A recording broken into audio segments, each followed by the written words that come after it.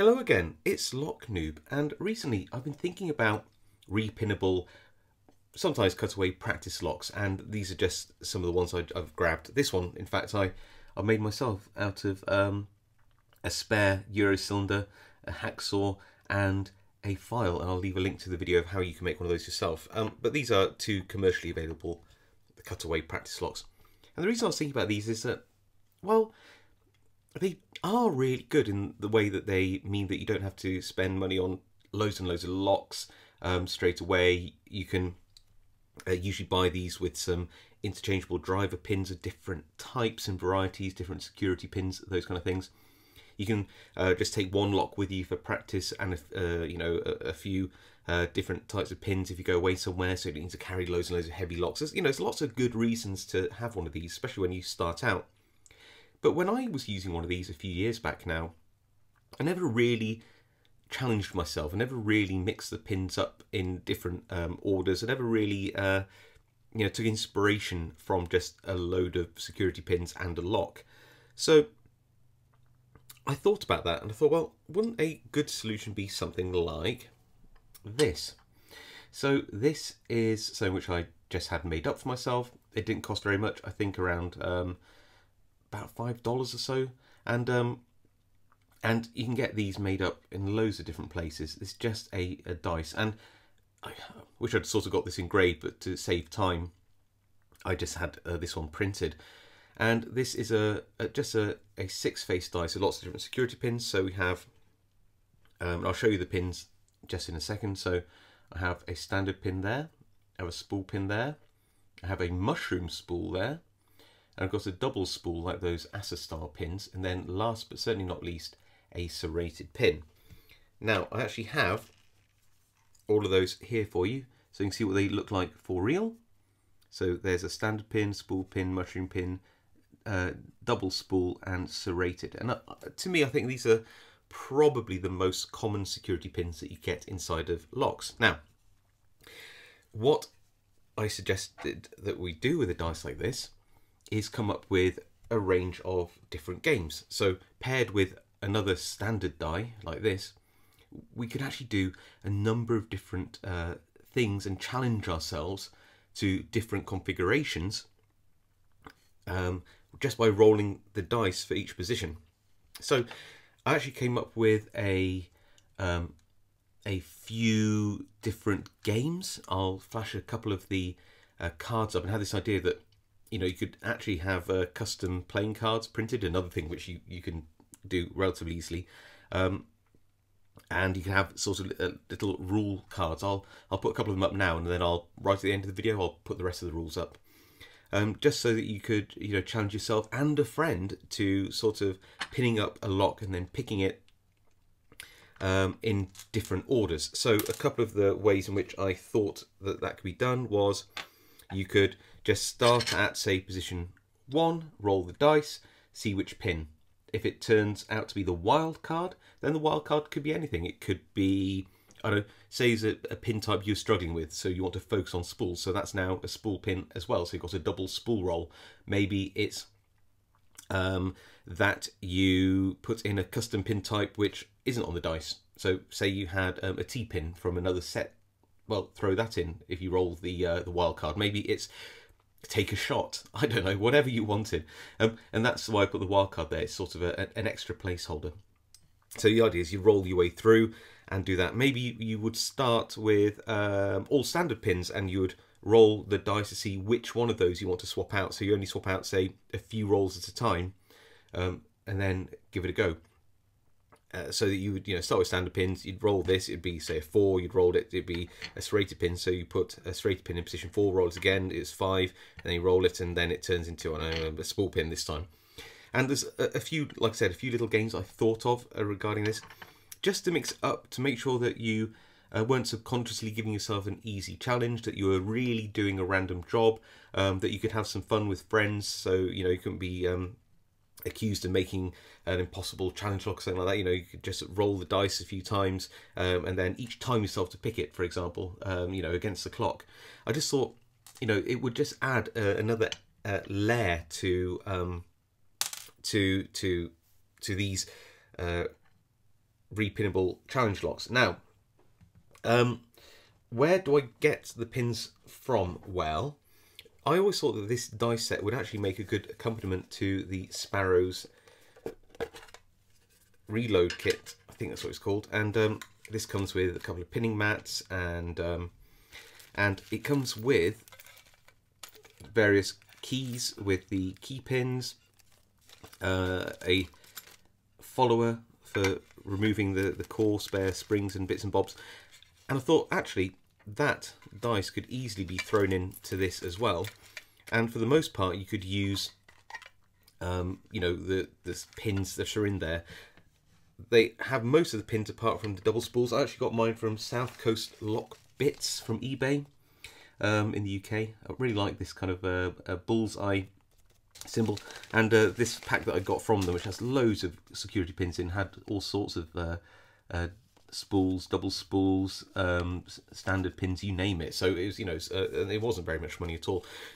So you can easily make your, yourself up um, a kit. You could really just make the dice to your own specification, whatever pins you had around. It doesn't have to be these ones. It's just ones that I fancied because I, I, thought they were the most common. Um, so yeah, I thought, you know, something like that, you could throw in a kit like this, um, close it up and you're ready to go. In fact, I even think that one of these little um, uh, locks can also go in there and it actually shuts up as well. So there you go. So yeah, uh, you, so you can buy these security pins from places. Sparrow sell them, South Coast Lockbit sell them. I know other sellers might sell them as well. Maybe you can even buy massive, full-on locksmith kits for hundreds of pounds if you if you were really into it. But you know, probably not. Um, and I just scoop these into my hand. All I needed to make sure that I had every um, combination available was um, six different security pins from each type. So, well, actually, no, five, because what I had a wild card. So it's really only 30 pins I needed to find together. You could either probably scavenge them from other broken locks or friends or who knows what. So yeah, so that's that's what I you needed. Just um, maybe a standard dice, a few security pins, a practice lock, and you're ready to go. So, um, what what should we do? Well, I think before I flash up the little rule cards which I had created, um, I think we should have a go at uh, rolling the dice a few times, pinning up a lock, and then picking it. So I'm just going to use this in its most basic uh, form. We're just going to, I've got a five pin uh, key here. I just chose that from the kit. Um, thought it had some reasonable bitting, sort of high, low, high, quite like that. Um, you see that I've got the associated key pins in the plug here. There we go. So they're all nice. Let's then roll this dice a few times. Hopefully it's not too loud. Um, and we'll pin it from pin 1 to 5. So pin 1 is going to be a serrated pin. Let's grab one of those. Pin 2. Keep it there. Spool pin. Grab one. No, it's a mushroom pin. Sorry, mushroom pin. Make sure that's the right way around. Um, and again, which way up is it? Does it go this way or this way? Um, I'm going to put it that way because that's just the way the dice fell. Okay, three. Ooh, a wild card. Um, I'm going to call that roll again. A spool pin, a real spool this time. Must be able to grab one of those. There we go. Four is another wild card. All right, roll again. Don't really want to be taking shots at this time of the day. So there we go. And a standard pin there. So, and last pin is serrated. Um, so again, that wild card could have been anything. Maybe if I decided up front it was another serrated pin or as a standard pin, or if I wanted to make it easier, it could be a standard pin. Um, if I had another pin type, maybe from one of my um, uh, original sets, like the Christmas pins, something like that, I could have chosen one of those pins to go in there. You know, just mix it up. Uh, that's what that, that's the best thing. You don't need to have a wild card if you make your own dice. You could make it anything you want. I just like the idea of having that flexibility of, of a wild card. Right, um, I'm going to throw these pins in here um, stick and show you and then stick it in the vise and then we'll, we'll have a go at picking it. So here is the lock all pinned up. Just pop the key in and um, you can see now the key's in all the driver pins You see it's the way that we rolled. So we have serrated, standard, spool, mushroom and serrated. This might not be the most effective or hardest way to pin this lock depending on the bitting.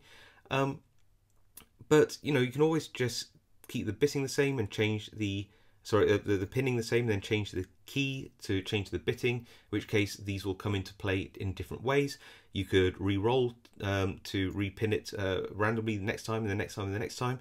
If you had a friend or family member who could pin the lock up for you, then um, they could do that and you wouldn't know what's inside if you taped over it or you used a lock which didn't have a viewing window. If you had like a Sparrow's revolver with four different uh, lock chambers or Bibles, then you could actually get somebody to pin it up four times for you. Yeah, I mean the the it's, it's sort of endless combinations which you could do that. So just going to pop this in um, here like that, tighten it up, just a homemade sort of kick holder.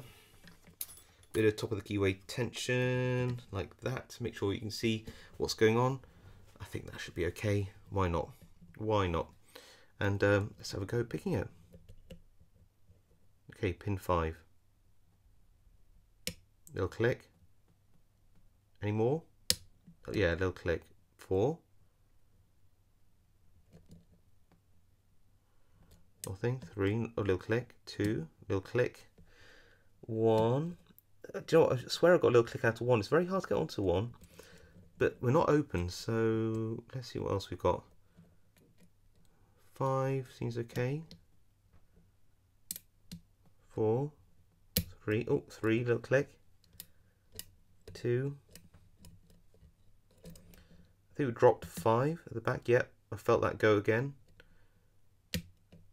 And got another little click out of that. That's pin two I just got there. Pin one now. Really find it hard to get onto pin one in this lock. Um, I think it's just the very high cuts there. So we're held up on something. A little click on three there nothing on 2 back to pin 1 seems good. Back to pin 5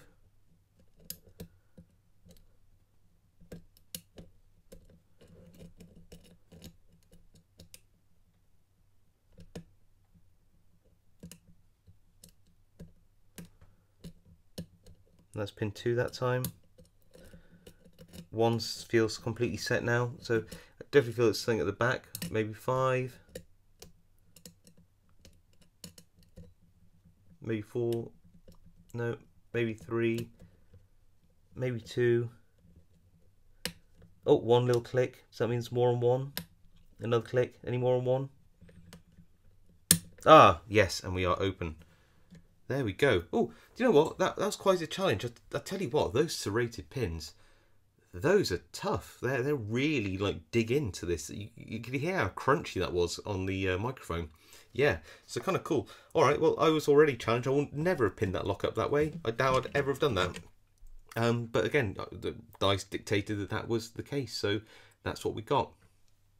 So I guess really my question to you is, what do you think to um, this idea? Is it a good idea? Would you make one of these yourselves? Would you buy one? Is it worth me taking this to a manufacturer and saying, hey, you know, this is people seem to like this idea, or or or just leave me a comment to say, actually, no, that's a, a really bad idea. I don't think I'd ever uh, make one of these or use one. Um, even if it was gifted to me, I don't know, whatever. If you do like the idea, how would you expand on the idea? Um, would you make any different rules or games up? I'm just really interested to know your thoughts. Um, it's just a, an idea which I had. I really hope you like it just like I said, let me know um, in the comments if you like it, uh, uh, what you do to expand on the idea, if anything. Um, would you buy one or make one yourself? Yeah, just just really let me know. Really fascinated to know what you think. And it's just something which I, I well, I'm going to get a lot of uh, pleasure and use out of this. I'm going to have some fun. And if I ever go to a, a lock sport meetup or anything like this, I'm going to take this and uh, I'm going to challenge people to um, to to you know roll the dice and uh, and pin up a lock for each other. So yeah, that's going to be kind of cool and good fun. Right, hope you enjoyed that, and I'll see you all next time.